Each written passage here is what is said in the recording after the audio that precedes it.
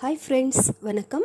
Welcome to magic சமையல் இன்றைக்கி நம்ம ரெஸ்டாரண்ட் ஸ்டைல் பாலாக் பன்னீர் வீட்டில் எப்படி செய்கிறதுன்ட்டு பார்க்கலாம் இது ரொம்பவே ஈஸியாக ரொம்ப டேஸ்டியாக நம்ம வீட்டிலேயே செஞ்சு சாப்பிட்லாம். இதை வந்துட்டு நம்ம சப்பாத்தி ஃபுல்கா ரோட்டி பரோட்டா எல்லாத்துக்கூடயும் வச்சு சாப்பிட்லாம். ரொம்பவே டேஸ்டியாக இருக்கும். வாங்க இப்போது இந்த பாலாக் பன்னீர் எப்படி செய்கிறதுன்ட்டு பார்க்கலாம் பாலாக் பன்னீர் செய்கிறதுக்காக ஃபஸ்ட்டு நம்ம பால் கீரை எடுக்கணும். பால் கீரை எடுத்து நம்ம நல்லா இது இது மாதிரி இலைய இலையாக பிச்சுட்டு நம்ம நல்லா க்ளீனாக ரெண்டு மூணு தடவை நல்லா கழுவி எடுக்கணும். ஏன்னா மண் நிறைய இருக்கும். நான் வந்துட்டு ரெண்டு கட்டு எடுத்துருக்கிறேன். ஏன்னா இது எல்லாம் தண்ணியில் போட்டு நம்ம கொஞ்சம் வேக வச்சு எடுப்போம். வேக வச்சு எடுத்து மிக்சிக்கு போட்டு எடுத்தோம்னா இது இது கிரேவி வந்துட்டு கொஞ்சம் தான் ஆகும் அதனால வந்துட்டு ரெண்டு கட்டு எடுத்துருக்கிறேன். ஒரு நாலுலேருந்து அஞ்சு பேர் சாப்பிடலாம் இதை நம்ம. இப்போ இதை வந்துட்டு நம்ம ஃபஸ்ட்டு வேக வச்சுக்கலாம். ஸ்டவ் ஆன் பண்ணி ஒரு பாத்திரத்தில் தண்ணி வச்சுருக்கிறேன் அது நல்லா கொதி வந்துன்னு இருக்குது இந்த டைமில் நம்ம இந்த களி வச்சுருக்கிற இந்த பாலாக்கு இதில் போடலாம்.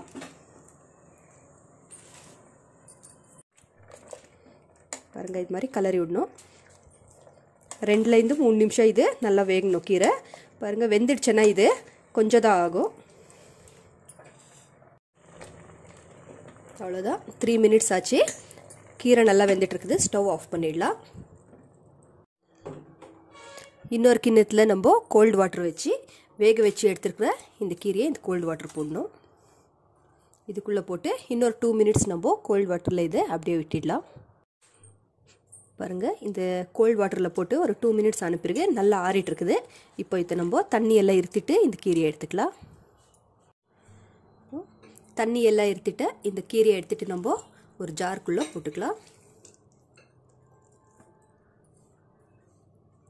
கீரை கூட மூணு பச்சை மிளகா போடுறேன் காரத்துக்காக. இஞ்சி ஒரு பீஸ் எடுத்து தோல் எல்லாம் எடுத்துகிட்டு இது மாதிரி மெலிசாக கட் பண்ணி வச்சுருக்கிறேன் அது போடலாம். பூண்டு ஒரு அஞ்சுலேருந்து ஆறு பல் எடுத்து அது தோல் சீவி எடுத்துருக்கேன் அது போட்டு இப் இப்போ இதை நைஸாக அரைச்சி எடுத்துக்கலாம்.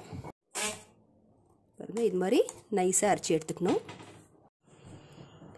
பாலாக் பன்னீர் கிரேவி செய்கிறதுக்காக இப்போ நம்ம ஃபஸ்ட்டு ஸ்டவ் ஆன் பண்ணி பேன் வச்சுருக்குறேன் அது கூட பட்டர் ஒன் பீஸ் போட்டிருக்கிறேன் ten to fifteen grams butter போட்டிருக்கிறேன் இப்போ நான். கரிஞ்சிடுச்சு கரைஞ்சது நம்ம பன்னீரை ஆட் பண்ணலாம். நான் இரநூறு கிராம் பன்னீர் எடுத்துருக்குறேன். அதை அதில் போட்டுட்டு லோ ஃப்ளேமில் வச்சு நம்ம இதை ஃபஸ்ட்டு ஃப்ரை பண்ணி எடுக்கணும். நம்ம பன்னீரை வந்துட்டு அப்படியே பச்சையாக போட்டால் அது நம்மளுக்கு தெகிட்டோம் சாப்பிடும்போது. அதனால் இது மாதிரி கொஞ்சம் ஃப்ரை பண்ணிவிட்டு நம்ம எடுத்து போட்டோம்னா ரொம்பவே நல்லா இருக்கும் டேஸ்ட்டு ரெண்டு பக்கமும் எல்லாத்தையும் இது மாதிரி நம்ம ஃப்ரை பண்ணி அனுப்பிடுது இது எல்லாத்தையும் நம்ம ஒரு பிளேட்க்கு ட்ரான்ஸ்ஃபர் பண்ணிக்கலாம்.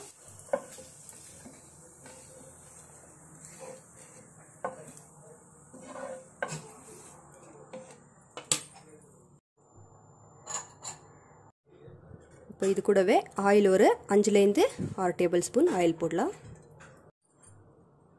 எண்ணெய் காஞ்சதும் பட்டை ரெண்டு பீஸு இது பிரியாணி இலை ஏலக்காய் ரெண்டு.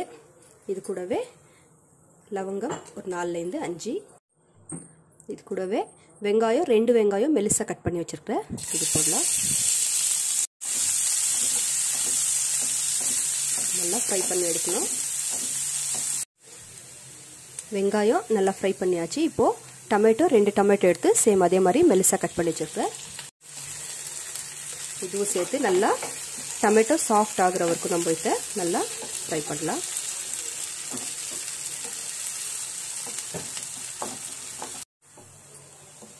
தக்காளி நல்லா சாஃப்டாக வெந்துட்டு பாருங்கள் இப்போ நம்ம இந்த அரைச்சி வச்சிருக்கிற பாலாக் இருக்குல்ல இது இது கூட போடலாம். இதோட ஜார் கழுவி இருக்கிற தண்ணி ஒரு கப் அளவுக்கு போட்டுன்னு இருக்கிறேன். நம்மளுக்கு கிரேவி வேணும் இல்லை அதுக்காக கொஞ்சமாக தண்ணி ஆட் பண்ணிக்கலாம். எல்லாத்தையும் சேர்த்து இன்னொரு தடவை மிக்ஸ் பண்ணி விடலாம்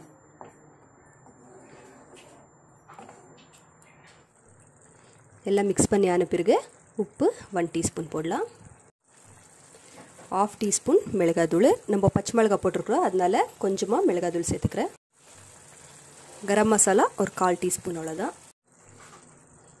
எல்லா மசாலா ஐட்டம்ஸ் எல்லாம் போட்டு நல்லா மிக்ஸ் பண்ணி ஆன பிறகு நம்ம ஃப்ரை பண்ணி வச்சுருக்குற இந்த பன்னீரை போடலாம் இதுக்குள்ளே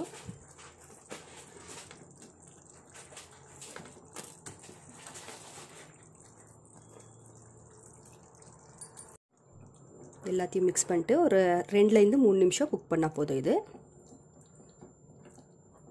ஃப்ளேமை வந்துட்டு நம்ம ஹை வைக்காமல் மீடியம் ஃப்ளேமுக்கு அட்ஜஸ்ட் பண்ணி வைக்கணும். ரெண்டு நிமிஷம் அனுப்பியிருக்கு நல்லா கலரி விடலாம். இப்போ நம்மளுக்கு ரெஸ்டாரண்ட் ஃபீல் வரணுன்னா கொஞ்சம் பட்டர் கொஞ்சம் அதிகமாக தான் சேர்க்கணும். அப்போ தான் நம்மளுக்கு டேர் இன்னும் கொஞ்சம் லாஸ்ட்டில் ஃபினிஷிங் டச்சுக்காக சின்ன பீஸ் ஒன்று பட்டர் ஒன்று ஆட் பண்ணுறேன் இது கூடவே கஸ்தூரி மேத்தி. இது வந்துட்டு நம்ம நார்த் இந்தியன் டிஷ்ஷஸ்க்கு எல்லாமே இது கஸ்தூரி மேத்தி போட்டால் தான் நம்மளுக்கு அந்த ஃபீல் கிடைக்கும். அவ்வளோதான் இன்னொரு தடவை நல்லா மிக்ஸ் பண்ணி விட்டுடலாம். சுட சுட நம்ம இத்த பரோட்டா ரோட்டீஸ் அப்படி இல்லைன்னா ஃபுல்கா கூட இதை சர்வ் பண்ணால் ரொம்ப நல்லாயிருக்கும் டேஸ்ட்டு